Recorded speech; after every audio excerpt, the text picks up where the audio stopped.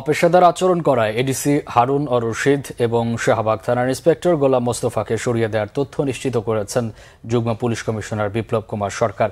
জানান, ছাত্রলীগের দুই নেতাকে মারধরের ঘটনা তদন্তে গঠিত কমিটি দ্রুত প্রতিবেদন দেবে। সেই অনুযায়ী ব্যবস্থা নেওয়া হবে। বাংলা ভিশনকে এসব কথা বলেন যুগ্ম পুলিশ কমিশনার বিপ্লব কুমার সরকার। তার আচরণটা ছিল অপেশাদার।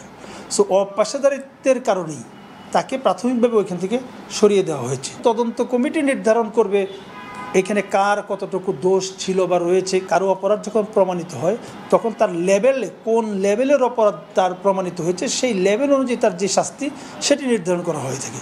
তো এগুলি চাকরির একটা স্বাভাবিক প্রক্রিয়া।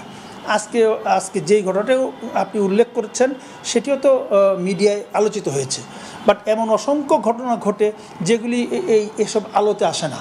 লঘুদণ্ড এবং গুরুদণ্ড কখনো কখনো কারও চাকরিচ্যুত হয়, কখনো কখনো কেউ তিরস্কার পায়। এই জন্য বিভিন্ন দণ্ড রয়েছে। কাজে এটা আসলে দোষ নির্ধারণ সাপেক্ষে।